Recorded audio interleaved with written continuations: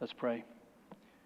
God, we're thankful for your word, and as we um, look today at the crucifixion of Christ, we pray that you would uh, guard our hearts from distraction, guard our hearts from uh, thinking ahead, guard our hearts from uh, being numb to the common nature of this passage.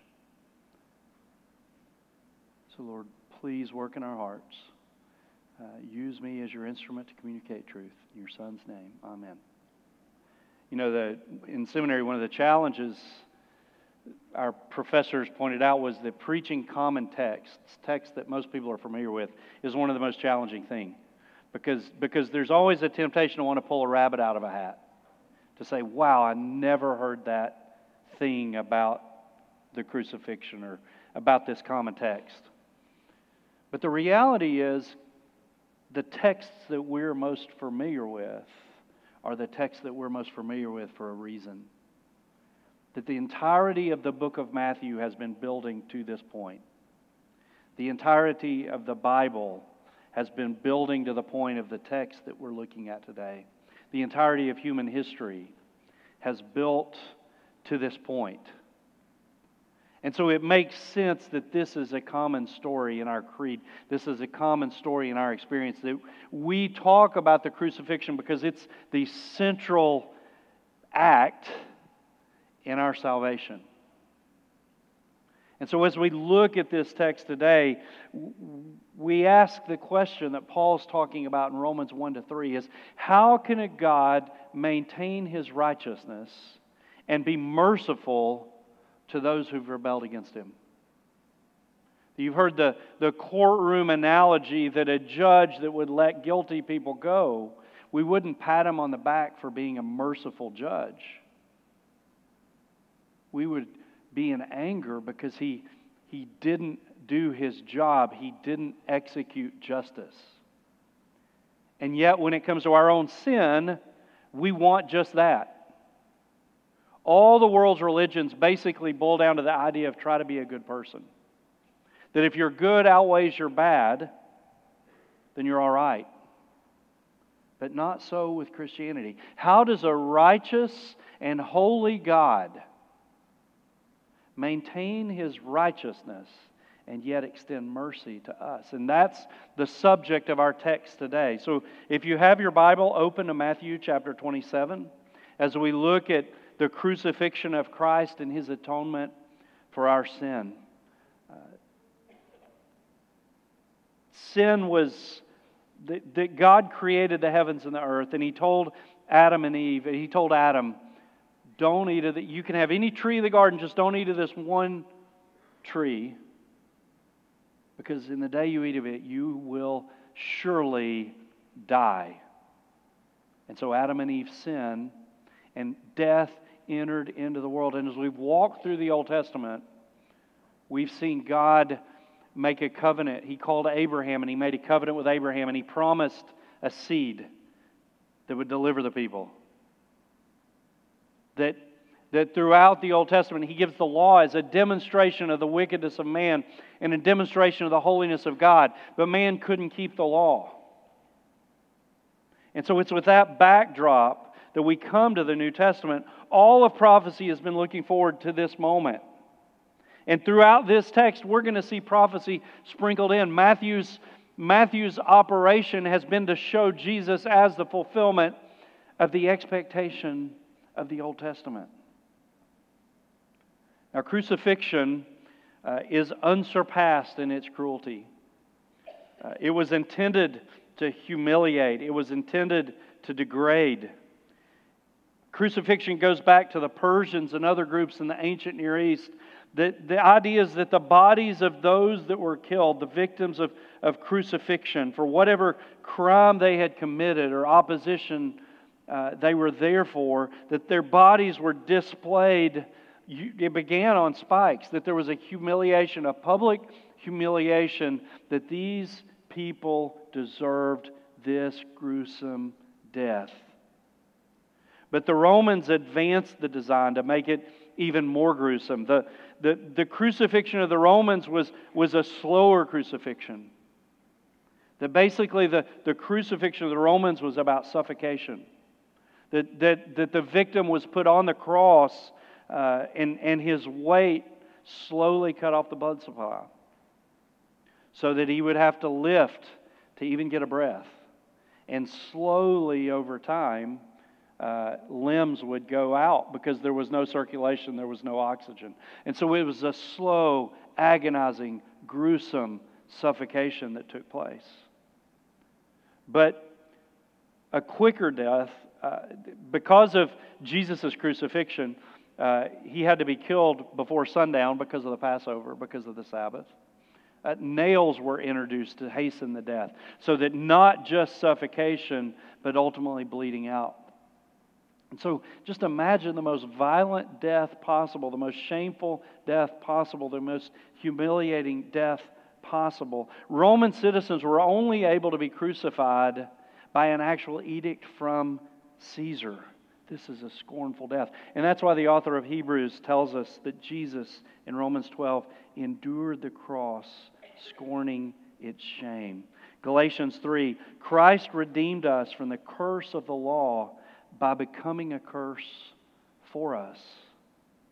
For it is written, Cursed is everyone who hangs on a tree. So the issue with crucifixion isn't just physical pain, it's physical pain, humiliation, shame, suffering, all of that.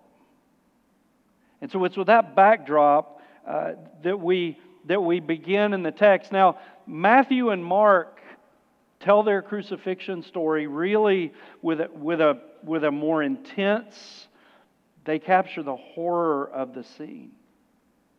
That in Matthew and Mark's account, you get a lot more of a picture of just how bad this thing was. But it's always contrasted with Jesus being in absolute control of the situation at all, at all, at all moments.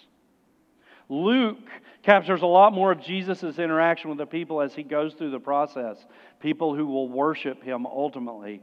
And then John is going to emphasize in the crucifixion Jesus' total control of the situation. Let's look at verse 32. And they went out, they found a man of Cyrene, Simon by name. They compelled this man to carry Jesus' cross.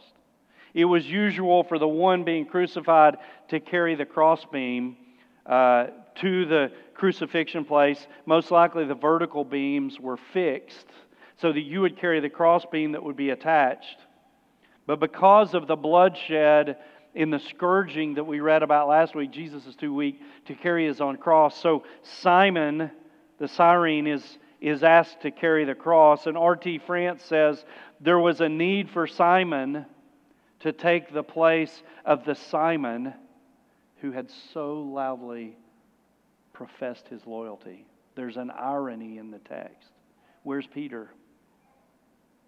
And then they came a place called Golgotha, which means the place of the skull. We don't know exactly why it's called the place of the skull. Uh, probably because uh, it visually represented a skull. Part, probably, possibly because it's where so many are executed. That there, there are two traditional options for where this place was. Uh, most likely, it's, it's at the location of the Church of the Holy Sepulchre. We have good traditional backing to that, but which in that church was outside the wall in the first century. But the idea is that this crucifixion is going to take place on a major thoroughfare. And as Passover week, so many are coming in and out of the city, it's, it's designed for ultimate humiliation. It says they offered him wine to drink mixed with gall, but when he tasted it, he wouldn't drink it. The wine to drink mixed with gall. Gall is, is a bitter substance, and basically it's, it's like a pain medication or, or, or a mild narcotic, and, and it's intended to lessen the pain. They're trying to ease his suffering, but he wants to communicate clearly he wouldn't drink it because he is in control of this situation. He's willing to endure this suffering to the fullest. Jesus makes clear that he is not a victim of what's taking place. All of us would be sitting beside looking at this man thinking that he's a victim. Jesus is very clear. I am in absolute control of this situation. He's fully aware and he's fully in control of what's taking place. And then verse 35, and then they and when they crucified him, they divided his garments by casting lots. They nailed him to a cross. Sometimes the victims would have just been hung, but, but for a quick death like this, they nailed him to the cross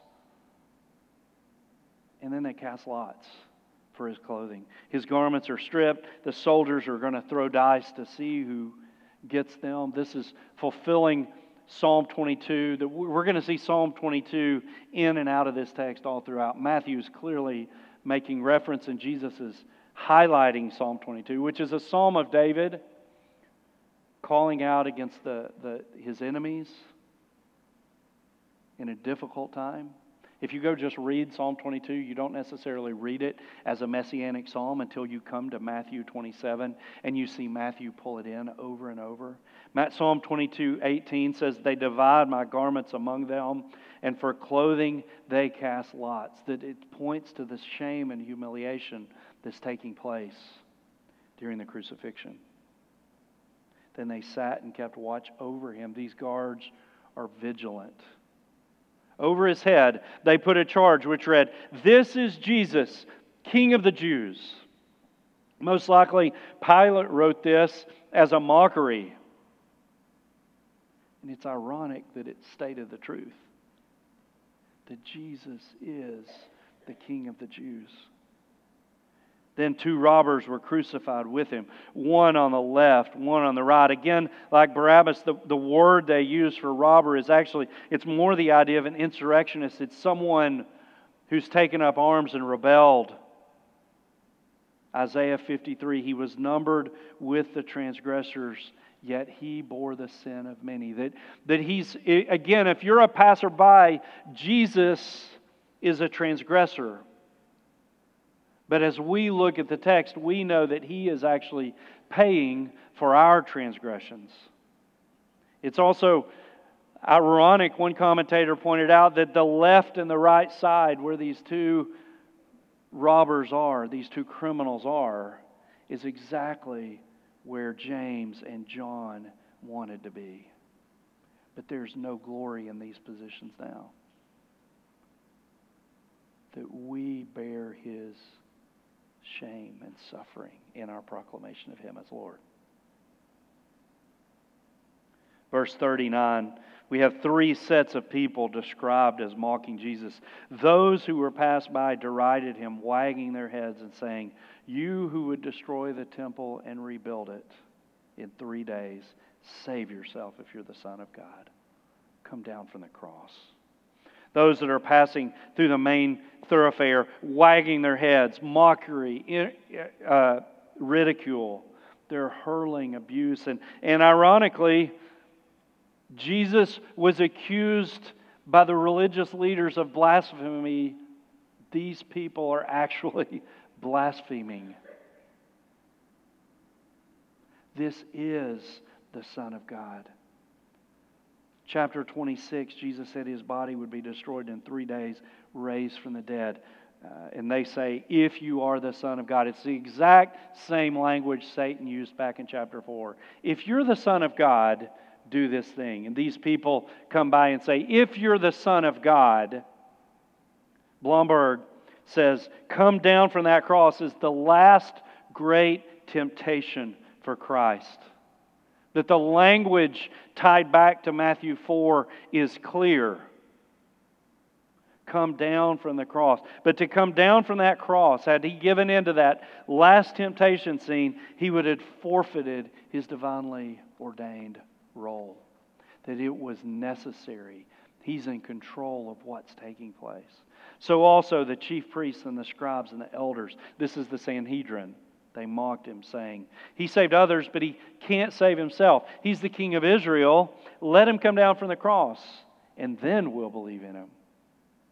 He trusts in God. Let God deliver him now if he desires him. For, for he said, I am the Son of God.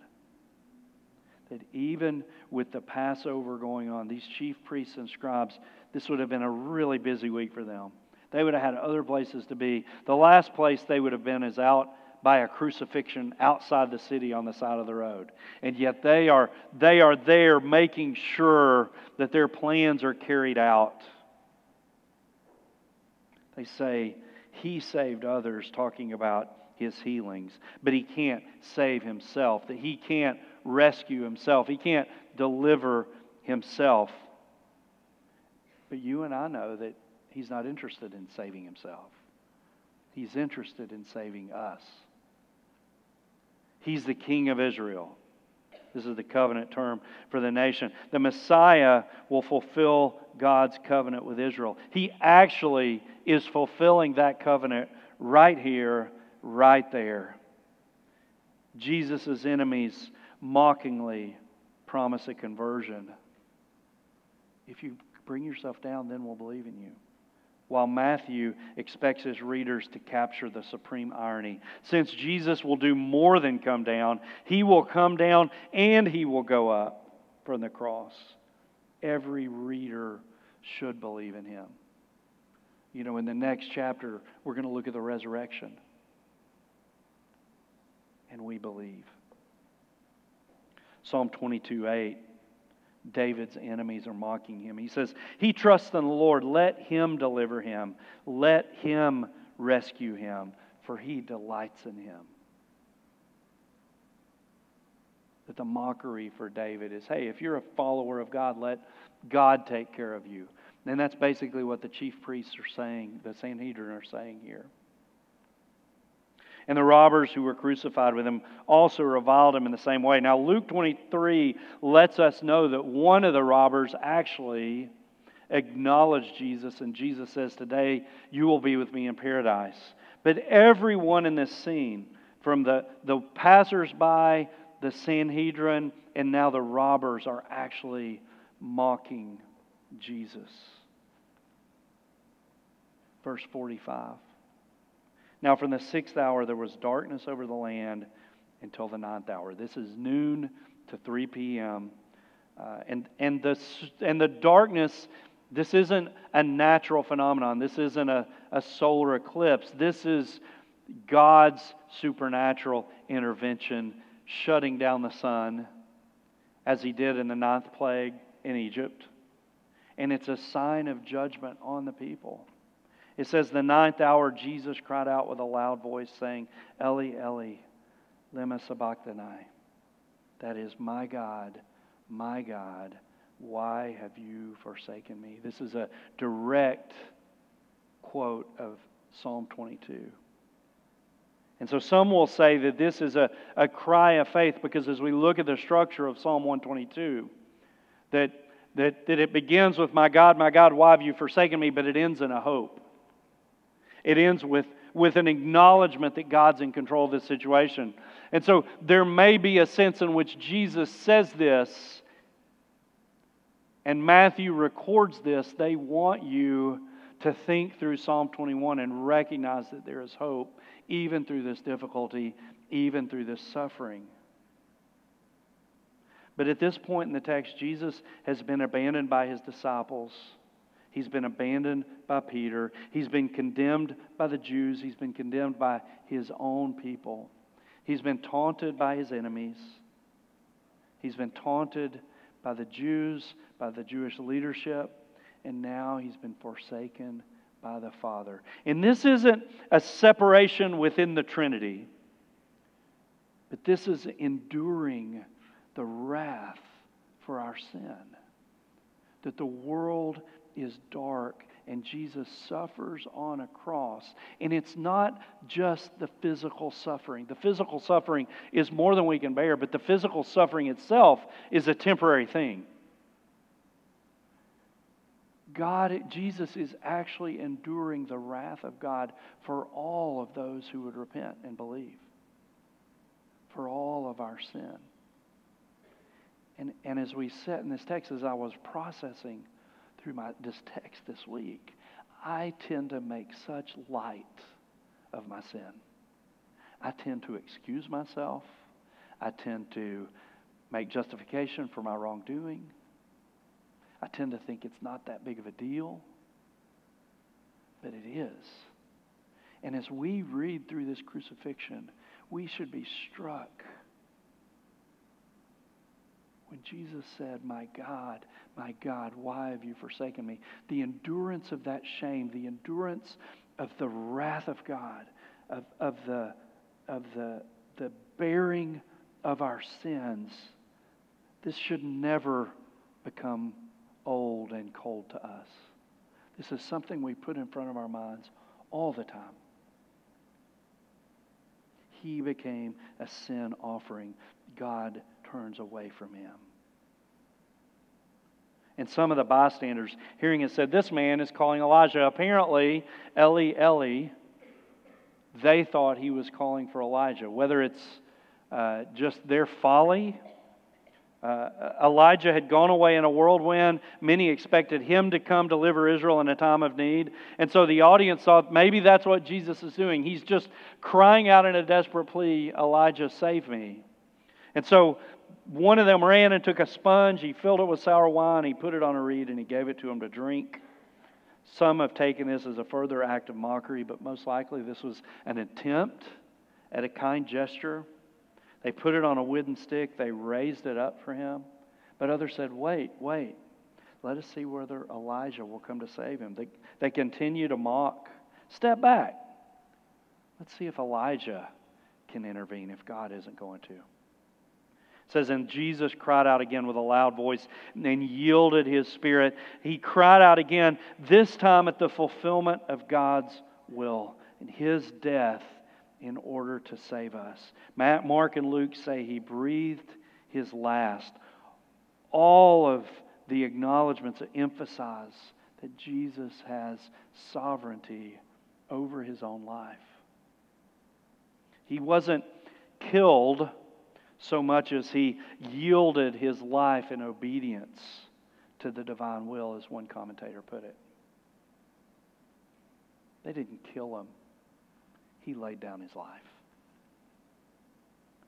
This is a central event in human history.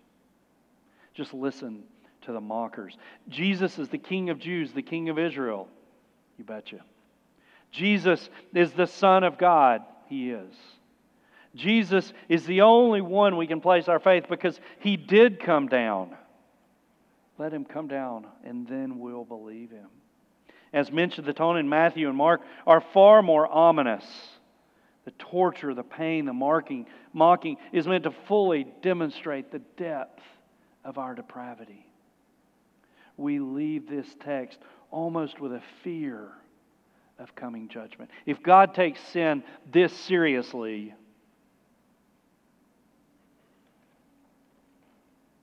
we now move on from the three groups of people that mock Jesus to three who will testify to who he is. We'll see nature testify to who Jesus is.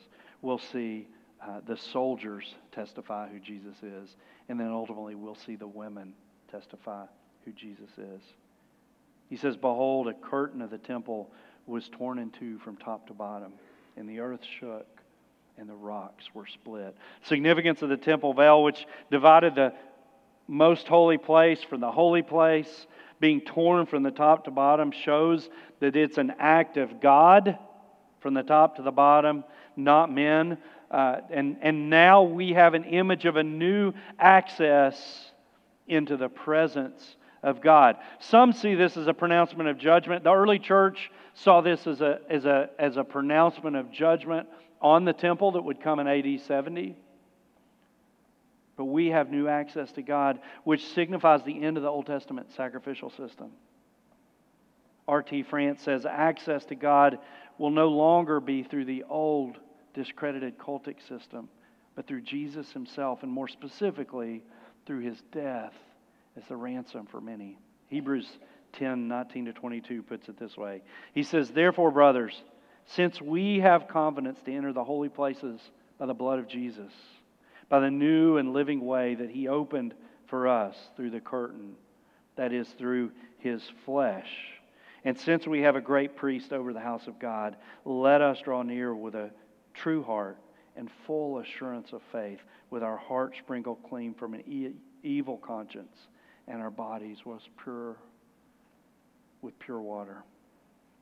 The earth shook, the rocks split, and these are boulders Again, God is supernaturally demonstrating to the world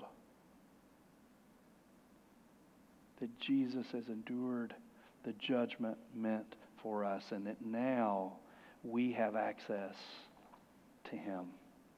The tombs were also open. Many bodies of the saints who had fallen asleep were raised, and coming out of the tombs after the resurrection, they went into the holy place and appeared to many. That this demonstrates that Jesus' death has accomplished something, that the power of death has been broken. It's, it's sort of a first fruit, it's sort of a, it's a demonstration of God's, of Jesus' death over death. It's the inauguration of a new era of salvation. It's available to all that we see this passage as a fulfillment of Ezekiel 37 12 and 13. My people, I'm going to open your graves and bring you up from them. And Ezekiel, a return to Jerusalem after the exile, here it's used as a, as, a, as a picture of the resurrection from the dead. This is a mysterious text because we don't know exactly who was raised from the dead. We don't know how many were raised from the dead. The, the majority view is that they were re- actually resurrected, not simply resuscitated like Lazarus. But most likely, during the death, we have the opening of the tombs. So it says in verse 52 the tombs were opened. And then the second part, the bodies of the saints who had fallen asleep were raised and coming out of the tomb, that that actually took place with the resurrection. We don't get the details because the details aren't the point. What's the point? The point is, Jesus died and death is being defeated. That's the point. Significantly, in Ezekiel 37, in Ezekiel's vision of the valley of dry bones, verse 7 in Ezekiel 37 Behold, an earthquake. Verse 12, I'm going to open your graves. And then 12 to 14, you shall know that I'm the Lord when I open your graves, raise you from your graves, O people. And I will put my spirit within you, and you shall live, and I will place you in your own land. And then you will know that I am the Lord. I have spoken, and I will do it, declares the Lord. Ezekiel 37 is the promise of the giving of the Spirit of God to fulfill the promises of the new covenant. So, because of that, this section shows that Jesus' crucifixion paid the debt. He was the sacrifice that ratified the new covenant, just as he said he would. This is blood of the covenant, which is poured out for many for the forgiveness of sin when the centurion and those who were with him, keeping watch over Jesus, saw the earthquake and what took place, they were filled with awe and they said, Truly, this is the Son of God. The centurion sees all that's going on and he gets it. He makes it clear with his testimony. There were multiple witnesses. They experienced the power of God and recognized it for what it was. That all these supernatural things happening are a divine witness to to the truth of, of what, who Jesus was. They were filled with awe. This is the exact same phrase that's used of the disciples at the Transfiguration. There were also many women there looking from a distance who had followed Jesus from Galilee, ministering to him, among whom were Mary Magdalene and Mary, the mother of James and Joseph, the mothers of Zebedee. Women often accompany Jesus, and the fact they're here represented in all four Gospels that demonstrates that these ladies were faithful to the end. Commentators almost universally point out that it's unusual for women who are usually on the outskirts in the ancient world. They're unable to be disciples of rabbis. So here we see Jesus went outside of tradition and welcomed the women to follow him. When it was evening, there came a rich man from Arimathea named Joseph, who also was a disciple of Jesus. He went to Pilate and asked for the body of Jesus. Then Pilate ordered it given to him, and Joseph took the body and wrapped it in a clean linen shroud and laid it in his own new tomb, which he had cut in the rock. And he rolled a great stone to the entrance of the tomb and went away. Mary Magdalene and the other Mary were there, sitting opposite the tomb. This is a segue between the crucifixion and the resurrection. It's a chance for us to let things set in. Jesus is truly dead. He didn't have the appearance of death. He's dead. He has to be buried. The Roman tradition would have been simply to put him in a mass grave.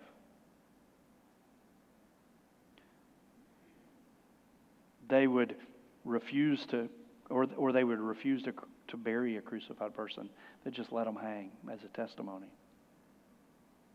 The body had to be buried by sundown, though, because of the Passover. Uh, and Joseph is a member of the Sanhedrin, but apparently has been a follower of Jesus. So he takes him and he puts him in a grave. We're told that two of the women stayed, demonstrating their vigilance. Charles Quarles says Cicero said that the terror of the cross was so horrific, the citizens of Rome did not want the thought of the crucifixion to even enter their minds. They would clasp their hands over their eyes and ears rather than see the victims writhing in agony or hear the screams of those suffering the excruciating pain of the cross. These women endured long hours of watching Jesus suffer, surely not because of any morbid curiosity. So he's saying things are so bad in a crucifixion that almost no one wants to be anywhere close to it. And these ladies stayed beside Jesus. Not because of their morbid curiosity, but because of their devotion to Jesus would not allow them to walk away. If Christ must suffer, they must remain with him, suffering with him in their own way. The prominence of these faithful women in the account of Jesus' death contrasts with the shameful absence of the disciples. And it's a powerful warning against chauvinism in the community of Jesus' disciples. That they have endured this with him, they've sat faithful with him, and they will bear a testimony of what Jesus did. And so we say this is the central point in human history, but but what difference does it make when we talk about the atonement? Christ's atoning sacrifice on our behalf. What are we talking about? John Stott in The Cross of Christ does an excellent job. If you, get a, if you got to read one book on this, go grab it. But he, he really lays out the idea of atonement in a way that helps us understand what it is that took place when Jesus died on the cross. And he gives four terms that the Bible gives us to talk about Jesus' atoning sacrifice. The first is propitiation. Now, propitiation's a that's a that's a big word, but the idea of propitiation is basically uh, that he, he took God's wrath for our sin, that God's anger towards sin, his wrath towards sin, was satisfied in the, in the person of Jesus Christ in his death. Hebrews 2:17 says, "Therefore he had to be made like his brothers in every respect so that he might become a merciful and faithful high priest in the servants of God to make propitiation for the sins of the people." That Jesus endured the wrath of God towards sin, the righteous and holy wrath of God towards sin. It's not, when we think of anger, we think of flying off the handle, a, a dad being angry with his kids, or someone just being beyond wits' end. God's wrath towards sin is a righteous anger. 1 John 2 2. He is the propitiation for our sins, and not only for ours, but for the sins of the whole world. So, the first thing that Jesus did on the cross was he bore God's wrath for sin. The second image we get in Scripture about atonement is redemption. That Christ's purchase of sinners from the bondage of sin through the ransom payment of his death. That Jesus purchased our redemption. He paid the price for our bondage. That we were bound to sin, and Jesus paid our ransom. Matthew 20, 28. Even as the Son of Man did not come to be served, but to serve and to give his life a ransom for many. Ephesians 1 In him we have redemption through his blood. His blood was the payment required to purchase us the forgiveness of our trespasses according to the riches of his grace, Paul finishes. The third image is justification. This is God's judicial declaration of us as righteous. That, that we are righteous based on his righteous. Jesus knew no sin. His lack of sin, his righteousness is imputed to us. And that's what justification is. Stott says when we're ready to understand the meaning of salvation, we begin negatively with redemption. That we are rescued by Jesus at the high price of his blood. Justification is the positive counterpart. Forgiveness remits our debts. Justification gives us righteous standing before God. That when we stand before God, we don't simply stand there as forgiven sinners. We actually stand before God as if we had never sinned. We stand before God declared righteous. That our righteousness comes from Christ and His perfect sacrifice. Romans 3 23 and 24. All have sinned and fall short of the glory of God, being justified as a gift by His grace through the redemption which is in Christ Jesus, who God displayed publicly as a propitiation in His blood through faith. And then the final term propitiation, redemption, justification, and then finally reconciliation. That through the cross, Christ reconciled us to God, that He restored God's relationship with man. That this reconciliation is the most personal. Romans 5 says it this way For if while we were enemies, we were reconciled to God through the death of His Son, much more, having been reconciled, we shall be saved by His life. We exalt in God through our Lord Jesus Christ, through whom we have now received the reconciliation. That we were once far off from God, separated from God because of our sin. That Jesus' death brought us into complete reconciliation, that we can approach Him as our Father, living in perfect fellowship with Him.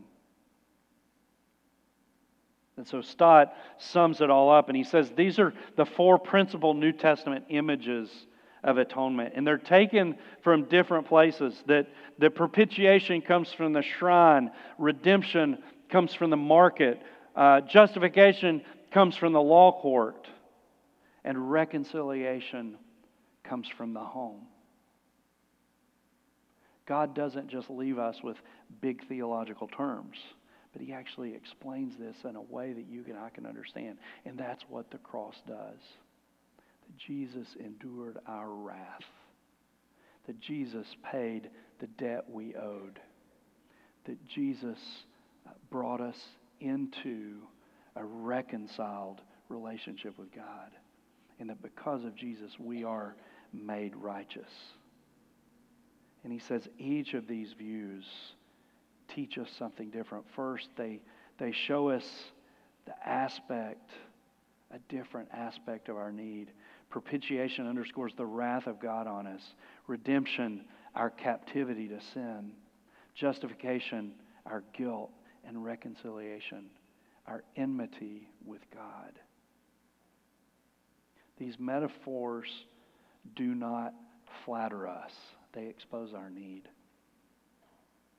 Second, he says, they also demonstrate that the saving initiative was made by God, that God is the one who did all of this. He provided for our salvation. He who was propitiated his own wrath. He redeemed us from our miserable bondage. He declared us righteous in his sight, and he reconciled us to himself. And then finally, all four of these images plainly demonstrate that, that God's saving work was achieved through the bloodletting of Jesus Christ, the substitutionary sacrifice of Christ. And since his blood is a symbol of his life laid down in a violent death, it's plain to each of the four images that he died in our place as our substitute. That we deserve every bit of the consequence that Jesus bore. The death of Jesus was the atoning sacrifice because of which God averted his wrath from us, the ransom price by which we have been redeemed, the condemnation of the innocent that the guilty might be justified, in the sinless one being made sin for us. This is atonement. This is what Jesus achieved on the cross on our behalf. And so let us never approach this text casually, realizing that God, in His own initiative, sent His Son to pay for our sin. And that if we place our faith in Jesus Christ, by simply saying, Jesus, I trust you. I trust that your death was sufficient for me. That's it. That's Christianity. We're not trying to earn these things. We're not trying to satisfy God's wrath by giving him some good deeds that'll cover it up. We're not trying to pronounce ourselves righteous because we're being good people. We're saying only in you, Christ. Only in you is God's wrath averted. Only in you is my price that I deserve to pay paid. Only in you am I declared righteousness. And only because of you am I reconciled to God. Let's pray. Father, we are so thankful for this text. And, and Lord, as, as we approach it, I pray for all of us that our hearts would be moved with a sense of gratitude. That, Lord, we would not approach you casually, that we would not approach the death of Christ casually.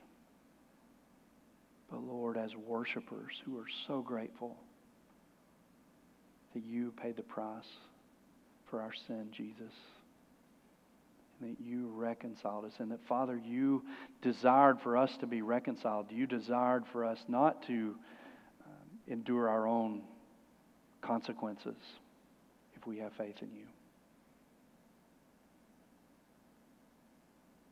Lord, would you work in our hearts? And if there are those today who don't know you, who haven't placed their faith in you, I pray that this text would singe their hearts that they might repent. We pray in Jesus' name. Amen.